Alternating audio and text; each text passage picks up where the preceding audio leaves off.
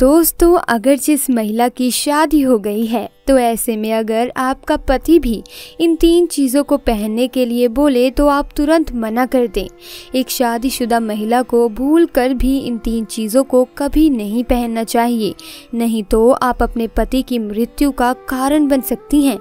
आपको बता दें कि आज के इस आधुनिक दौर में शादीशुदा महिला कई ऐसी चीज़ों को पहन लेती हैं, जिसके बारे में उन्हें पता तक नहीं होता। यहाँ तक कि शास्त्रों में भी ऐसा नहीं लिखा होता कि कुछ भी पहन लिया जाए। ऐसे में उनके जीवन पर नकारात्मक प्रभाव पड़ता है।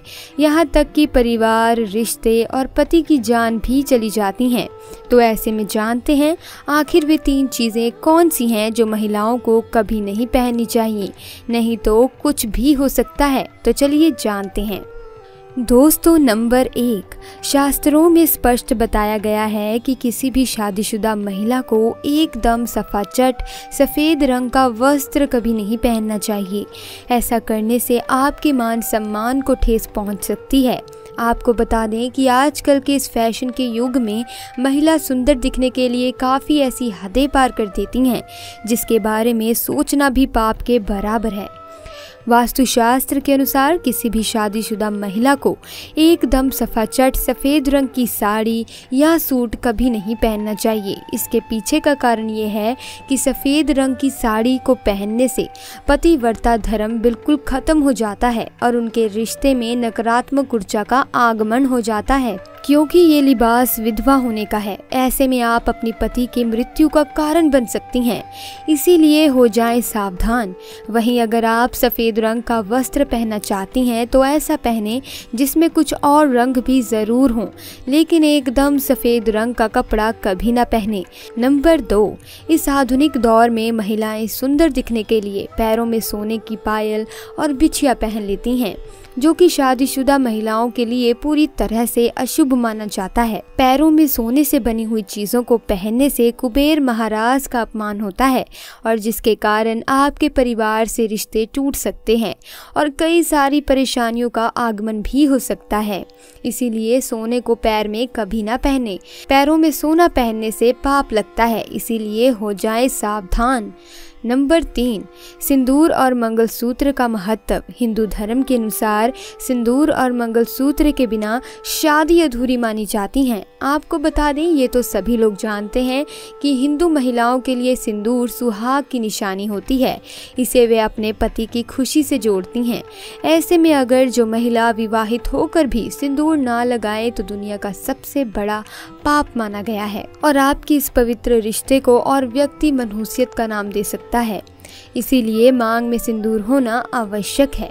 वहीं मंगलसूत्र का भी बड़ा महत्व है। मंगलसूत्र में सोना या पीतल भले ही ना लगा हो, लेकिन पीले धागे में काले मोती ज़रूर होने चाहिए। ऐसा माना जाता है कि मंगलसूत्र का पीला हिस्सा, माता पार्वती और काला हिस्सा, भगवान शिव, शास्त्रों के अनुसार शादी होने के बावजूद भी, जो महिला मंगलसूत्र ना पहनती हूँ तो सबसे बड़ा पाप है। ऐसे में आपके रिश्ते पर कलंक लग सकता है।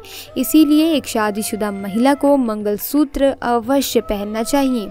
अगर आपके पास मंगलसूत्र नहीं है तो कम से कम गले में काला धागा तो पहन सकते हैं। दोस्तों, क्या आप जानते हैं कि अगर सिंदूर में एक ऐसी चीज़ रख दी जाए जो आपके लिए और आपके परिवार के लिए बेहद शुभ हो, क्या आप ऐसी बात, ऐसी चीज़ के बारे में जानते हैं?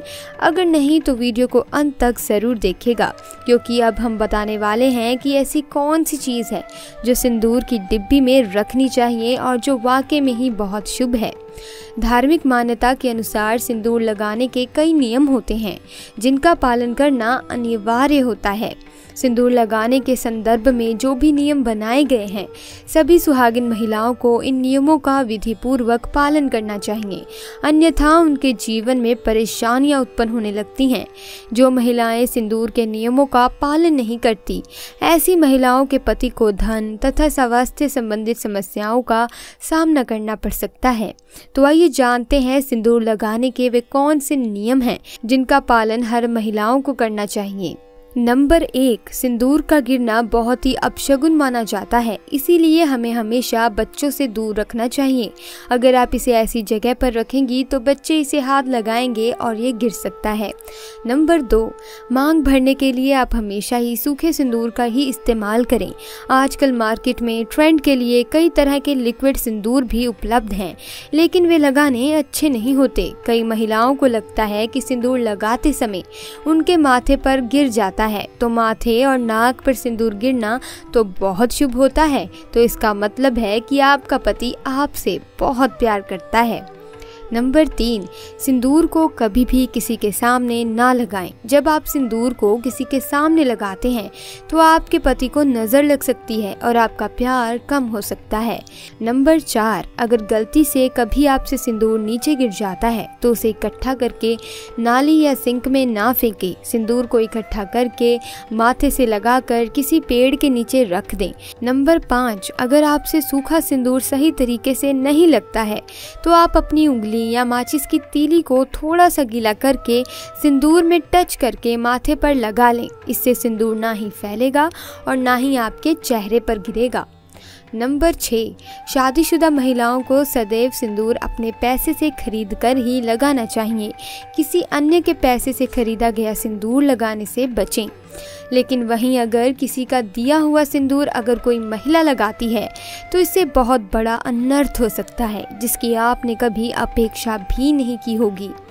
और साथ ही में धन वैभव की कमी और पति को किसी भी तरह से सफलता ना मिलना, घर में कलेश का वातावरण रहना अनिवार्य होता है। नंबर सात। इसके साथ ही कभी भी महिला को बगैर नहाए मांग में सिंदूर नहीं लगाना चाहिए।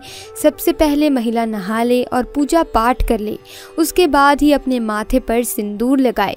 सिंदूर लगाते समय सदैव आप अपने पति की लंबी आयु तथा उनकी सफलता के बारे में ही सोचें।